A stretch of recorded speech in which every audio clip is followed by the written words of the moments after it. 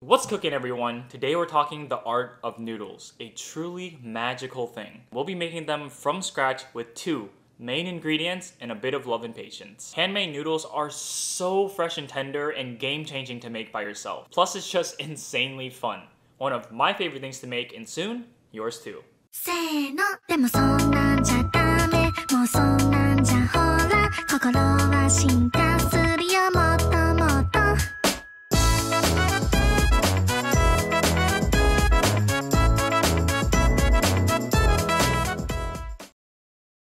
A very small list of ingredients with a magical combination of flour and water. I love this brand of all-purpose flour and use it for almost everything. If you can't find it though, just use an Asian brand of all-purpose wheat flour. Let's begin the show. Get a big fat bowl and start throwing in the flour. Complement it with a generous amount of salt and just a bit of baking soda, but not too much that you get that bitter flavor. Get a quick mix in for some even distribution. And now for some water, which we'll be pouring in increments while mixing the dough. There really is no magical ratio for flour and water since things like temperature will always impact how much you need.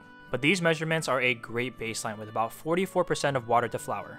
And just start kneading down and out. When the flour starts to stick on your hand a bit, grab some dry flour from the side of the bowl and give your hands a nice rubby.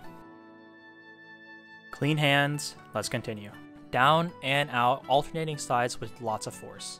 And you'll soon begin to realize how dry and tough noodle dough is supposed to be. It might even feel impossible to knead, but that's where the difficulty of making great noodles come. Just trust the process and keep on going. This can take anywhere from 5 to 10 minutes. You will feel the dough's resistance, but just push on through. This is critical for making sure that the gluten is well combined. It's the most important step.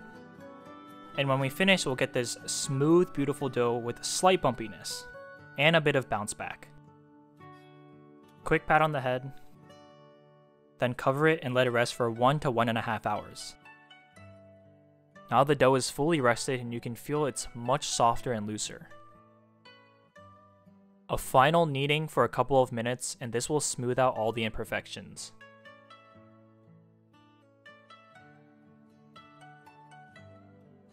Perfect, smooth ball of dough, almost ready. With a massive portion like this, I like working half at a time. Let it rest for a final 10 minutes. You're gonna first start using your palms to flatten out the dough. And now, with our trusty rolling pin, start rolling. And again, you will feel the dough's resistance. Start working the sides until you get an even sheet. Give this process some patience and love. You want to make sure it's as even as possible all around. And you can see how sturdy it is. Should feel very smooth and not sticky. Dust a bit of flour on the bottom and top, and this will prevent any possible stickiness. To stretch the dough out with limited space, we're actually going to roll it inside the rolling pin, giving it a gentle tuck with each rotation. Now start rolling from the center to the outside. Roll it back out and rub another layer of flour on top. And repeat the process.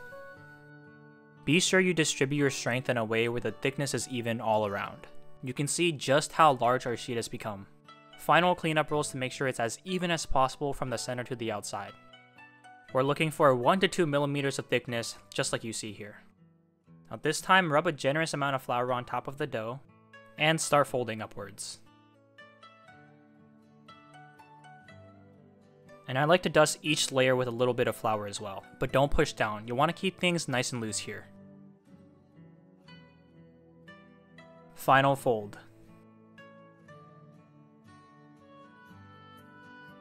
And now to the cutting board to test your knife skills.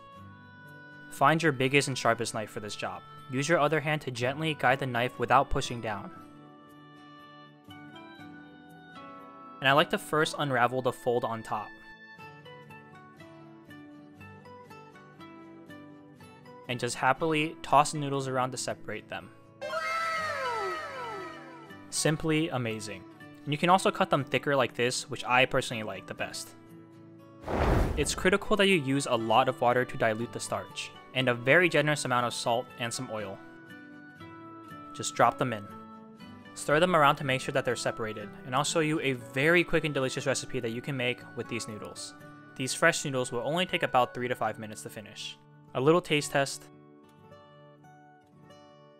and we're done.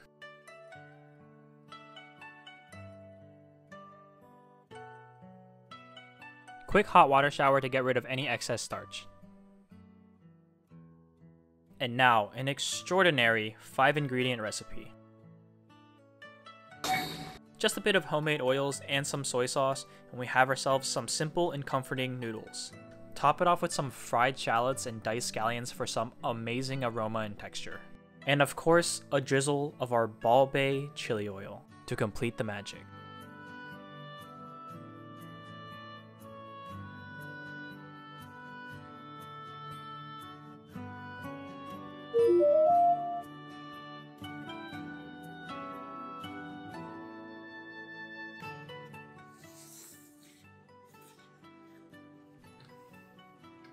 Truly worth all of that hard labor. Just enough fragrant and flavor that it's not too overpowering and lets the noodles be the star of the show. There are a couple of elements that make noodles amazing, and these right here check all the boxes. The first thing is texture. You want a chewy and bouncy tenderness. Soft enough that it's tender with a slight resistance. Not so much that it feels like the noodle is fighting back with you, but enough to give your mouth a pleasant chew when you're eating these noodles. The second one is flavor, and salt is the only spice that we use for noodles, so it's imperative that you use enough so that the flavor of the noodles come out without just tasting like dough. And another important element is the way the noodles feel. You want a pleasant experience from the mouth all the way down to the stomach with a smooth ride all around. And these right here,